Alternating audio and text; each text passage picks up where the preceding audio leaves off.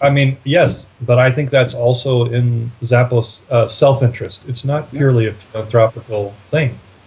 The cha- you know the the and this is about staying them staying connected to their their world, their clients.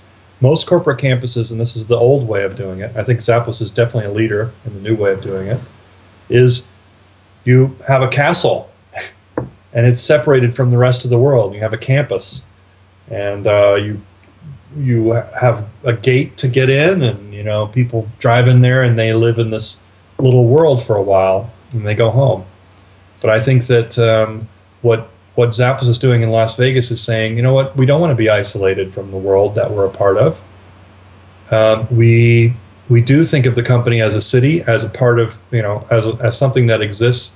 Maybe in some ways creates platforms, but in other ways lives on other platforms because there are platforms within platforms.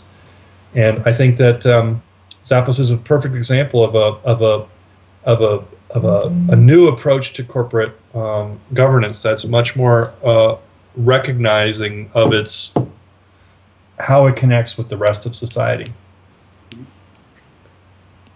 I think it's smart. I think it's very smart. You know, they've got, um, you know, they've got apartments, hotel rooms, businesses, and they're investing in this little area I think it's uh, I think it's very very smart. I think that we will see.